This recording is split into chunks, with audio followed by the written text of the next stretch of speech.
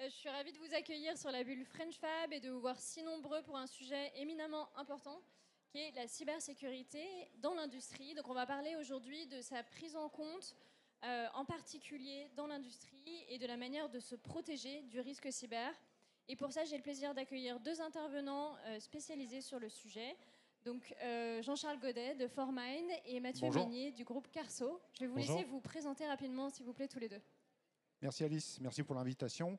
Euh, Jean-Charles Godet, donc, je suis consultant cyber euh, chez Formine, un cabinet pure player en cybersécurité, 300 consultants en France spécialisés dans le domaine de la cybersécurité.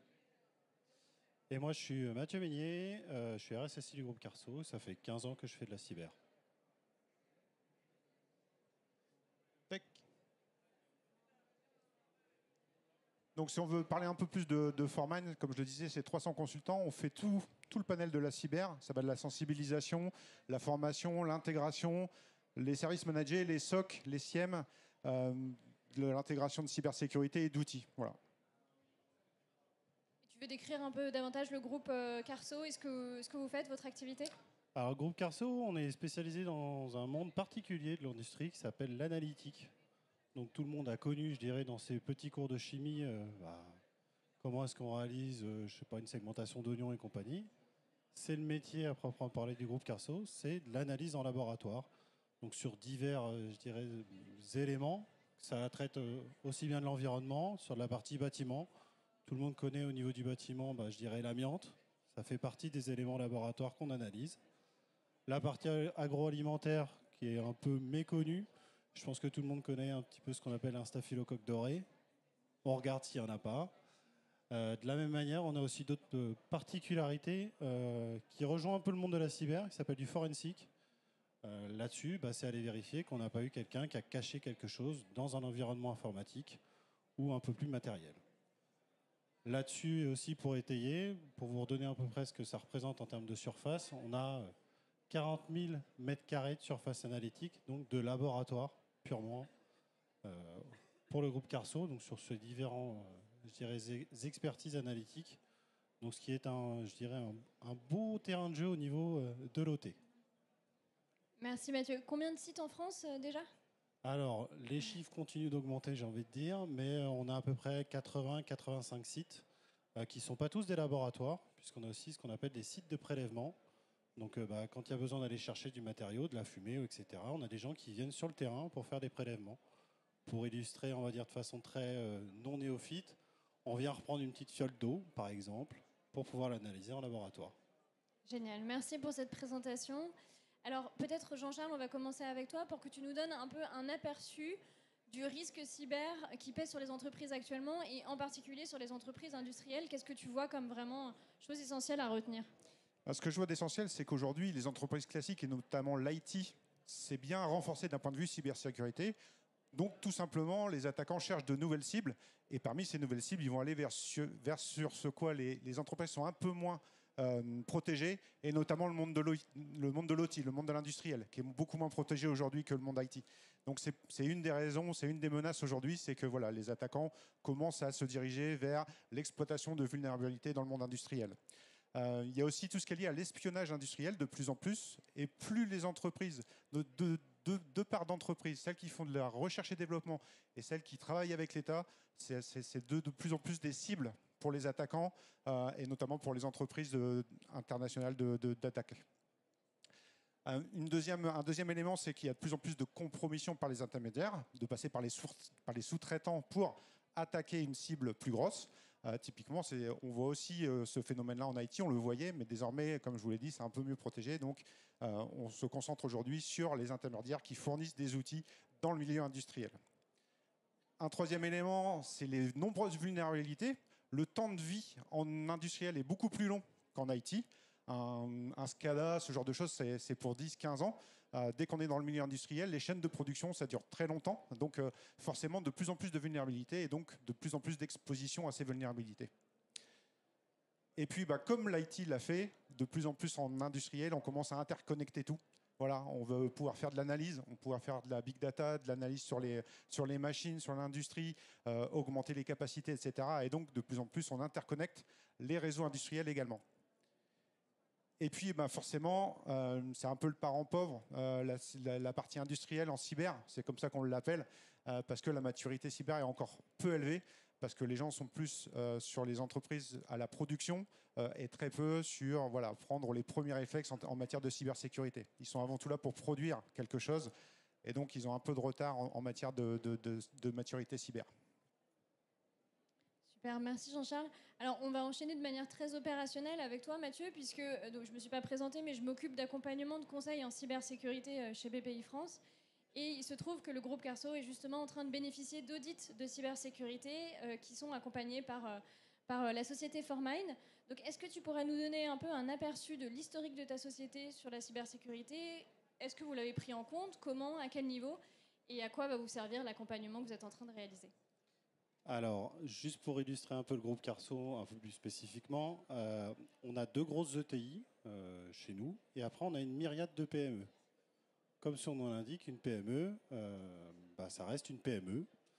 Donc le niveau de cyber et le niveau de maturité, comme l'expliquait Jean-Charles, bah, je, vais être très clair, moi quand je rencontre des responsables de filiales qui me regardent avec des grands yeux en me disant Mathieu, je comprends rien à ce que tu me racontes je ne sais pas de quoi ça traite. Moi, j'ai un échantillon, je le traite en laboratoire, je rends un résultat, point. Bon, partant de ce constat-là, j'ai envie de dire que bah, un élément important aussi dans le monde de l'OT, c'est le monde de l'analytique, très très méconnu au sens cyber de l'OT. Je ne vais pas dire qu'on est le plus parent pauvre, mais pas loin. Ça reste malheureusement un élément prépondérant. Et dans le cadre effectivement de la partie BPI, on se fait accompagner justement pour pouvoir bah, mieux comprendre, mieux sensibiliser, mieux faire adhérer aussi les différentes filiales sur, bah ok, la cyber, euh, ça peut être effectivement un, levier, ça peut être effectivement quelque chose de bénéfique, puisque euh, bah, ça rend service aussi aux clients finaux. Je vais reprendre aussi un élément important, des machines spécifiques. Hein. Donc, euh, quand on monte dans le monde du laboratoire, on a des machines qui sont totalement spécifiques pour des typologies bah, d'analyse qui le sont également. Donc on a des chromatographes, des très gros microscopes. Voilà. Vous imaginez que le microscope il tient plutôt dans une salle qui fait 3 mètres de haut, pour vous illustrer un peu près la, chose, ou des éléments qui sont beaucoup plus spécifiques. Un autre élément important, c'est que dans le cadre des analyses qu'on fait, on a aussi une certaine saisonnalité. L'eau, le monde de l'eau, pour vous illustrer, comme je vous disais tout à l'heure, bah, on prend une petite pipette d'eau, bah oui, il y a des gens chez nous qui vont aller dans les piscines, dans les rivières, dans tous ces éléments-là pour aller récupérer cette petite fiole d'eau. Et c'est ces analyses laboratoires qui sont dépendantes de cette saisonnalité, puisque bah, l'eau, quand il fait froid, il n'y a pas grand-chose qui se développe. Quand il fait chaud, c'est moins le cas. De la même manière, on introduit aussi des éléments qui sont euh, bah, novateurs. On aime bien faire entrer de l'innovation dans la partie laboratoire avec de l'IA, donc de l'intelligence artificielle, justement, pour pouvoir rendre des résultats beaucoup plus faciles, interprétables et beaucoup plus rapidement. On l'évoquait tout à l'heure, effectivement, un maillage géographique à couvrir. Je vous le disais, moi j'ai 80 sites physiques. C'est assez marrant puisqu'on a des, sites qui sont très gros, des sites qui sont euh, de l'ordre de euh, bah, toute petite, euh, tout petit élément, mais on est obligé de mettre le même niveau de cyber et le même niveau de cybersécurité pour pouvoir couvrir tous ces éléments. Et pour vous illustrer aussi un élément très important, des collaborateurs peu acculturés au danger de la cyber, il n'est pas rare que euh, malheureusement on ait des gens qui soient peu euh, regardants sur des mails qu'ils reçoivent, euh, des clés USB qu'ils retrouvent, ou je dirais, à proprement parler, de récupérer des documents qui ne sont pas forcément très bien, même d'un point de vue client. Merci Mathieu. On va, on va poursuivre avec toi en fait sur la partie stratégie et mise en œuvre d'une démarche de cybersécurité. Donc, Là, tu nous as exposé un peu euh, l'état des lieux finalement et tout ce qui génère de la complexité pour euh, gérer la cybersécurité chez toi. Est-ce que tu peux nous expliquer un peu donc, ce que vous avez réalisé dans le cadre des audits de cybersécurité, où est-ce que vous en êtes et quelle est finalement la feuille de route pour toi? Alors, pour vous réillustrer à peu près ce qu'on a fait avec la partie BPI, on allait ce qu'on appelle réaliser un diagnostic cyber. Ça consiste en quoi? On va aller vérifier, nous, notre niveau de maturité à proprement parler, sur différents niveaux. Forcément, celui qui a tout du vert partout me lance la première pierre. Forcément, on retourne sur des éléments qui sont en fait euh, bah, connus dans le monde de l'IT depuis plusieurs décennies. Pour autant, comme on l'illustrait tout à l'heure, la partie euh, industrielle, elle, elle est bah, très méconnu, voire quasiment inconnu. Donc on va reprendre, on va dire, quelques éléments, sensibiliser, former et piloter. Ça veut dire quoi? C'est euh, on aime avoir une image relativement, relativement fun dans la partie cyber, on aime sensibiliser ce qui se situe entre la chaise et le clavier. L'humain à proprement parler, dans malheureusement beaucoup d'attaques, euh, bah, c'est l'humain qui s'est rendu faillible. Fort heureusement. La sécurité des postes, un poste de travail, hein, quoi qu'il en soit, ça reste un poste de travail qui se situe dans un monde OT ou dans un monde IT. Peu importe, je dirais, son niveau, il a le même niveau de criticité. Sécuriser les réseaux, c'est un élément très important. Je vous donne juste une illustration. Si on vient à rentrer dans un élément bureautique, ça arrive. Bah, moi, j'aimerais pas que mes dirigeants de filiale ou mon PDG viennent me voir en me disant bah, Mathieu, ils sont rentrés sur le labo. Il n'y a plus de prod. S'il n'y a plus de prod, comme tout milieu industriel, c'est la catastrophe. De la même manière, on aime aussi avoir des images qui sont euh, relativement euh, simples. L'administration des infrastructures, globalement, ça veut dire quoi? C'est quelqu'un qui a des hauts privilèges, qui réalise des actions à hauts privilèges. Donc, concrètement, moi-même, je réalise des actions d'administration, j'ai vie ou de mort sur un laboratoire. Si moi, je me fais compromettre, forcément, le laboratoire également.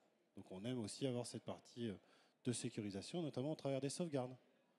Un élément très important au niveau de l'IT, on connaît tous, nous, la règle du 3 2 Ceux qui ne la connaissent pas, règle essentielle, trois sauvegardes sur deux sites, dont une hors site. Ça veut dire quoi? Ça veut dire que même si votre bâtiment brûle, bah, il y en a une qui est hors site, vous pouvez la remonter.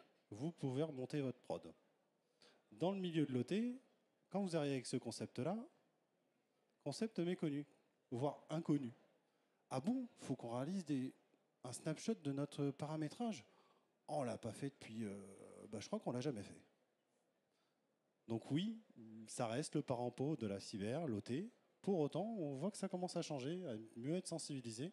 Et ça fait partie de notre roadmap, c'est-à-dire qu'on en vient avec un certain nombre d'outillages, un certain nombre de sensibilisations, pour que ça prenne aussi bien au niveau, bah, je dirais, des techniciens, des préleveurs, mais aussi au niveau des dirigeants. Super, merci Mathieu. Et donc euh, Jean-Charles, euh, peut-être euh, pour prendre un peu de, recul sur cette démarche, toi qui as fait beaucoup d'accompagnement, d'audit, et je crois que tu as été RSSI également dans le milieu industriel, est-ce que tu pourrais nous exposer une stratégie complète, on va dire, de, de, protection pour une entreprise du secteur industriel? Oui, bien sûr, en sachant que Mathieu, on a déjà dit une bonne partie. je veux bien qu'on change le slide pour que ce soit plus simple, pour que tout le monde puisse suivre rapidement. Euh, la première chose pour se protéger, il faut savoir ce qu'on a, ce qu'on a à protéger. C'est ce qu'on appelle la cartographie. Et en milieu industriel, c'est souvent beaucoup plus complexe que dans l'IT classique. Donc c'est vraiment l'outil, la cartographie DSI industrielle qui vont permettre de savoir, bah, ok, j'ai quoi, j'ai quoi dans mon SI industriel, j'ai combien de SCADA, j'ai combien de machines, euh, comment c'est orchestré? Et ça c'est la deuxième partie, c'est la segmentation. Ok, maintenant c'est segmenté. Euh, souvent dans les anciennes entreprises industrielles, c'était un, seul réseau à plat.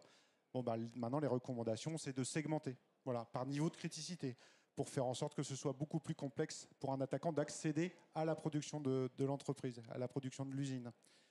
Un troisième élément, c'est forcément le durcissement des systèmes. Maintenant qu'on a segmenté, eh bien, il faut que chaque machine, ce soit les bonnes personnes qui puissent y accéder, avec les bons droits.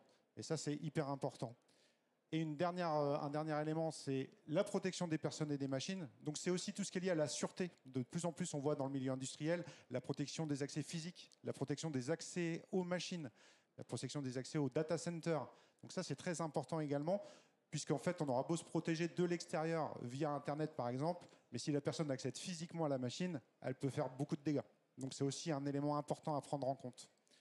Et puis un dernier élément, c'est de se préparer, de se préparer au pire donc c'est ce qu'on appelle la réaction en cas de crise. De déjà travailler sur si demain il m'arrive quelque chose sur ma production, qu'est-ce que je mets en place? Comment je me protège? Comment j'essaie de remonter les fameuses sauvegardes dont Mathieu parlait? Où est-ce que je le fais? Avec qui? Quelles sont les décisions à prendre? Comment je communique vers l'extérieur? Voilà, tout ça c'est à prendre. Et pour finir, mais on l'a mis en premier, forcément après il faut détecter les incidents. Et ça c'est également un autre aspect qui est compliqué en industriel, c'est de dire, OK, aujourd'hui, Qu'est-ce que je vois sur mon milieu industriel? Qu'est-ce qui me paraît anormal? Qu'est-ce qui n'est pas normal avec euh, cette machine-là? Tiens, pourquoi il y a eu quelque chose qui est changé dessus? Donc ça, c'est tout ce qui est lié forcément à la détection, de remonter des comportements. Donc on utilise aussi l'IA pour détecter des comportements anormaux sur les systèmes d'information, pour se dire, voilà, mon système d'information, il fonctionne à ce niveau-là à peu près. Si jamais il y a un pic, eh ben, ça détecte, ça envoie une alerte et on investigue. Ça, c'est l'objectif final, c'est de détecter tout ce qui paraît anormal sur un système d'information industriel. Voilà les, gros, les six grosses thématiques euh, qui, sur le papier, ça paraît simple, mais quand on va aller vraiment dans la technique, c'est un peu plus complexe à réaliser. Et justement, puisqu'il nous reste un peu de temps, on n'a pas parlé de, gouvernance et d'organisation euh, de la cybersécurité au sein d'une entreprise et en particulier d'articulation entre bah, les bureaux et la production? Est-ce que vous avez peut-être un éclairage à apporter là-dessus? Parce que ça me semble euh, intéressant. Je pense que le plus important, c'est déjà que. C'est euh, que la partie, comme j'évoquais tout à l'heure, tous les directeurs, les directrices, moi que j'ai sur les parties filiales, mais aussi la partie PDG, soient conscientes des risques, viennent adhérer au fait qu'on aille sécuriser. Convaincre votre PDG, c'est le plus compliqué, parce qu'il va falloir potentiellement mettre de l'argent pour pouvoir sécuriser. Sauf que si on sécurise, nous, on aime à dire qu'on sécurise un risque.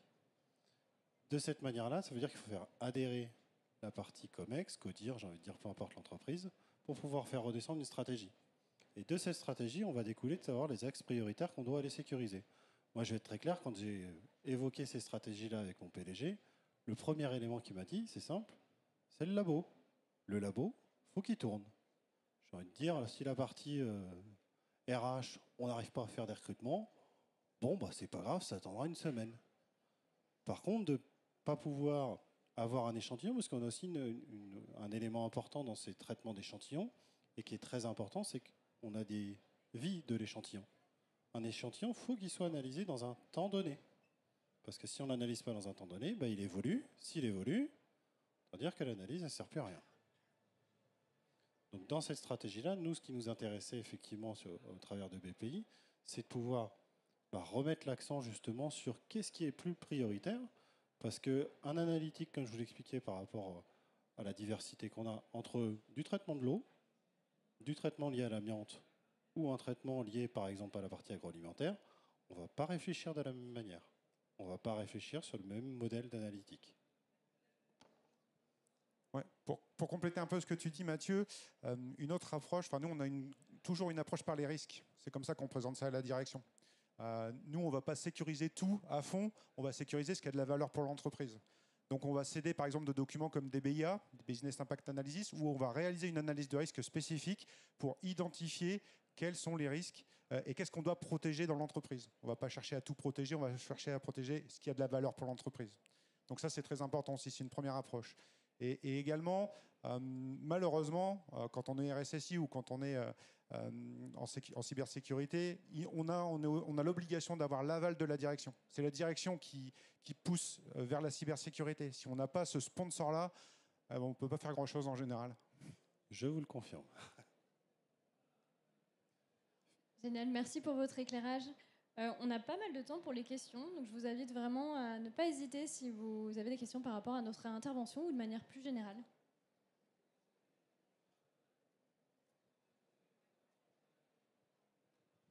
Tel micro, euh, monsieur ici.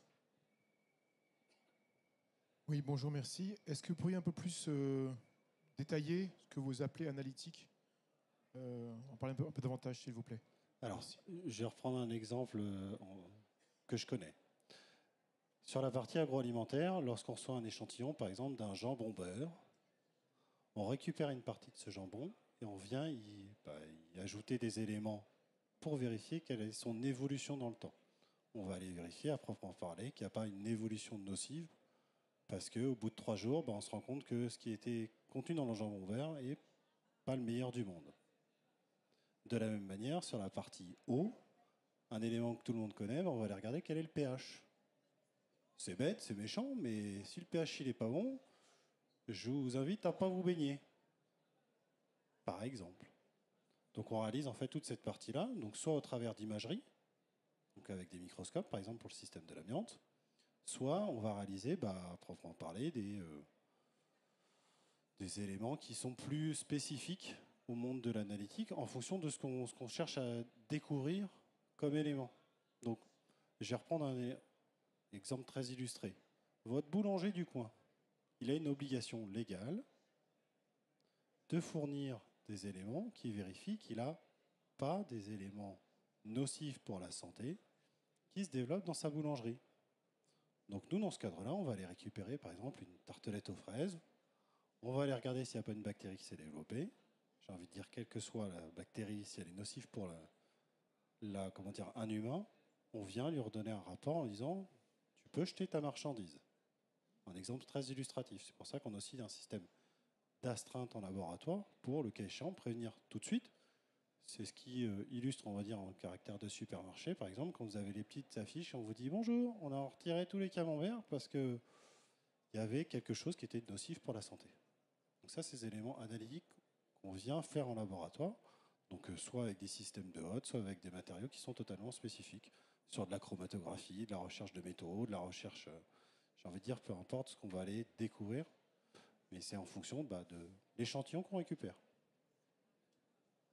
Et pour compléter sur la partie vraiment cyber, c'est ce qu'on appelle l'intégrité. C'est-à-dire que le prélèvement qui est fait, il faut qu'on puisse le tracer de, bout en bout et s'assurer que personne n'ait pu corrompre ou n'ait pu intervertir deux éléments. Et on voit très bien qu'aujourd'hui, les échantillons, bah, on met un QR code dessus et on le scanne et c'est comme ça qu'on le trace. Bah, si on change, si on intervertit de QR code, par, euh, par mégarde ou euh, volontairement par une attaque, forcément ça va poser problème. Et ça, c'est ce qu'on appelle l'intégrité. Voilà. Vous avez une question? Oui, comment vous euh, accompagnez les collaborateurs qui arrivent dans votre entreprise pour les alerter sur les risques cyber? Enfin, Imaginons une PME, elle est au début, elle démarre. Qu'est-ce qu'elle peut mettre en place le plus facilement et quels sont les outils pédagogiques les, les plus efficaces? Euh, je vais répondre en premier, Mathieu, cette fois-ci, si tu veux bien. Merci. Euh, bah, pour commencer, en fait, il y, a déjà des choses qui sont fournies par l'ANSI, l'Agence nationale de sécurité des systèmes d'information, qui vous propose des MOOC gratuits pour, par exemple, euh, se poser des questions quand vous recevez un mail. Est-ce que c'est normal que je reçoive ce mail? Est-ce qu'on me presse à quelque chose? Est-ce que j'attends ce mail? Est-ce que, ah, tiens, j'ai un colis à retirer Est-ce que j'ai commandé quelque chose?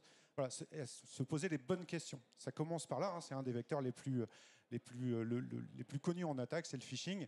Donc, sensibiliser les collaborateurs, c'est une des premières choses euh, qu'on réalise. Et après, suivant certains métiers, il y a des métiers qui sont plus à risque que d'autres. Les métiers de la finance, les métiers des ressources humaines, parce qu'ils vont recevoir des CV beaucoup. Euh, donc ça, voilà, c'est des métiers qui peuvent être sensibles. Je vais reprendre des illustrations terrain. moi, tous les lundis, je vois tous les nouveaux arrivants et je leur fais une sensibilisation sur les 10 règles d'or. Alors les règles d'or, il y a forcément ne cliquez pas sur n'importe quoi, c'est pas forcément ce qu'il faut faire. De la même manière, dans les éléments de sensibilisation pour vérifier qu'on a, bah, je dirais aussi atteint des objectifs, c'est qu'on va les sensibiliser les populations particulières. Donc la finance en est une, moi je vais les sensibiliser ce qu'on appelle les techniciens terrain. Les techniciens terrain, il faut que vous représentez quelqu'un qui est dans une camionnette, qui va aller récupérer des échantillons sur le terrain, et il bah, faut lui dire que bah, c'est pas parce qu'il y a un Wi-Fi de l'hôtel qu'il faut que tu te connectes sur le Wi-Fi de l'hôtel. Ah bon? Ah bah, le Wi-Fi de l'hôtel, c'est pas la même sécurité que celle que tu as sur le Wi-Fi d'entreprise. Ah bon? Euh, Oui, forcément, ça représente pas le même niveau. Et là, vous avez bah, des réactions qui sont somme toute très humaines. Hein. Vous avez déjà dû le voir même à titre personnel. Hein. Vous recevez un SMS qui vous dit Bonjour, vous devez retirer votre colis, cliquez là. Bonjour, alors là, on va dire plutôt à caractère personnel, vous avez Amélie qui vous écrit. Ah bon? On a tous ces éléments-là sur lesquels on doit sensibiliser les collaborateurs, donc soit au travers d'un mécanisme de nouveaux arrivants, soit avec des mécanismes qui sont beaucoup plus industrialisés, où on va aller, bah, par exemple, moi je fais des campagnes régulières pour aller vérifier qu'est-ce qui, toujours ce qui se situe en train de chaser le clavier, et pas en train de me cliquer sur n'importe quoi. des campagnes de phishing de, de test auprès de collaborateurs. Exactement. Donc on se fait passer pour un attaquant. Donc soit sur des campagnes connues, hein, euh, concrètement, bah, je me fais passer pour DHL, pour en citer qu'un, parmi tous les on va dire, livreurs. Je me fais passer pour quelqu'un de la compta. Je me fais passer pour quelqu'un des RH qui dit ah, au fait, j'ai envie de te dire, il y a une petite erreur dans ton décompte de congé. Cas classique. Premier, quand ça touche quelqu'un dans cet ordre-là, bah, qu'est-ce qu'on fait? On clique. Et on clique, et puis il y a une jolie petite mire d'attente, et puis on remplit un login et un mot de passe. Et puis voilà, c'est gagné. On a peut-être encore une ou deux. Oui, allez-y. Euh, merci beaucoup pour, euh, pour, ces interventions. Moi, j'avais une question. Vous ne parlez pas de la formalisation euh, des procédures. Et typiquement, on sait tous que quand on sensibilise le premier jour les nouveaux arrivants, six mois après, ils sont dans le jus, ils ont complètement oublié les premiers réflexes. Et c'est là où l'erreur arrive. C'est quand déjà ils sont eux-mêmes sous l'eau et qu'ils savent plus quelles sont les étapes à respecter, quelle est la, l'équipe de crise à contacter. Et donc, est-ce que vous pensez que au-delà de, la sécurité opérationnelle et technique, il n'y a pas un, accompagnement, euh, documentaire qui doit être mis à disposition euh, des collaborateurs, notamment avec une procédure de gestion d'une violation, euh, en cas de cyberattaque, qui contacter et autres. Est-ce que vous pensez que c'est vraiment utile ou Alors, je vais vous présenter un cas de figure très particulier. Oui, c'est utile de faire ce qu'on appelle une petite piqûre de rappel. On le fait à, différents niveaux. Soit parce que euh, on fait de l'affichage, cas classique, j'ai envie de dire, tout le monde se balade à proprement parler à la salle de pause. Le premier qui n'a pas pris une pause me lance la première pierre. Ça, c'est le premier élément. Le deuxième, c'est qu'on fait des piqûres de rappel au travers de campagnes de phishing, on se fait passer pour un attaquant. Deuxième élément. Troisième élément, on refait de la sensibilisation sur des communications qui sont très ciblées. Pourquoi? Parce que, euh, en fonction de l'actualité, bah, malheureusement, on est aussi obligé, nous, de s'adapter. Le monde de la cyber et le monde, je dirais, dans lequel on vit, est quand même très volatile. Ce qui veut dire qu'en fonction des cas de figure, bah, on va se retrouver avec une vulnérabilité qu'on n'a pas vu venir, parce que généralement, on ne l'a pas vu venir, et on est obligé de recommuniquer. On est obligé de resensibiliser, mais sur des éléments qui peuvent être totalement spécifiques. Donc soit, comme je l'évoquais moi, par exemple, sur mes techniciens terrain, qui vont aller chercher bah, des échantillons, soit, par exemple, sur des éléments qui sont liés à mes, mes copains de la finance, côté RH, côté recrutement. Ça va vraiment dépendre de l'actualité aussi.